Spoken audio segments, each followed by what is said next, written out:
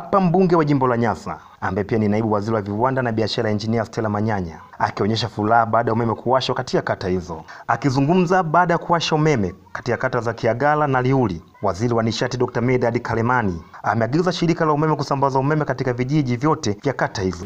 Ninao maelekezo yafuatayo. Kwanza, mkandarasi, wakati ninakuja nimeona nguzo zimelala hapo karibu na Mbamba Bay.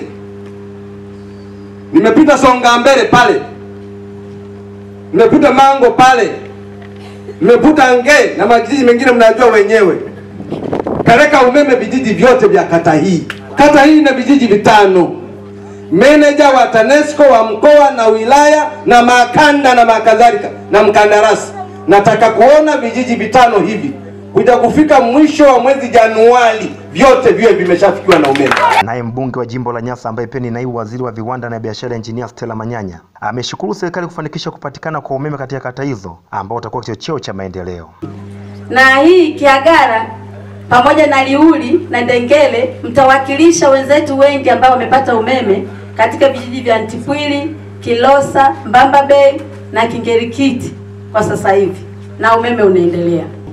Jimbo langu kama ulivyoliona Mheshimiwa Waziri, ni jimbo ambalo liko pembezoni kabisa, ni mpakani. Sisi ndio walinzi wa nchi kwa upande huu wa kusini magharibi. Hapo usoni kwetu baada ya hili ziwa ni Malawi na kule kusini kabisa ni Msumbiji.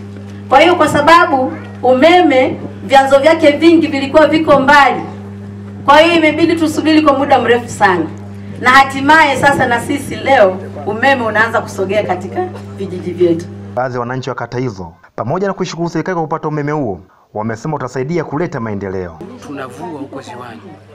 Kuna kipindi hasa masika hii tunavua dagaa za kutosha, jua hamna, jinsi ya kuhifadhi zile dagaa inashindikana, lakini umeme umefika, utatusaidia. Tutajenga kule kule nyumba, zitaingizwa umeme, nitapulizia baridi mule, dagaa zitaoza mpaka jua linapowaka. Tuna tuna matunda mengi huku, viwanda vidogo vidogo vya kusindika yale matunda vitakufika.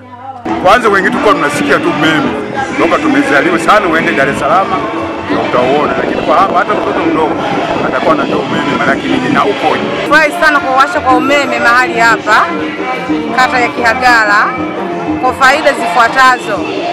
Tunafurahi sana tukiwa kama kina mama, tunafanya biashara hizi ndogo ndogo za kuuza dagaa, wakati mwingine mpaka saa mbili kuna giza, lakini kwa muda huu utakapokuwa na umeme umejitokeza na tunatumia umeme, tutafanya shughuli zetu tukiwa na mwanga mzuri. Toka Nyasa mkoani Ruvuma, mimi ni Newton Ndenda.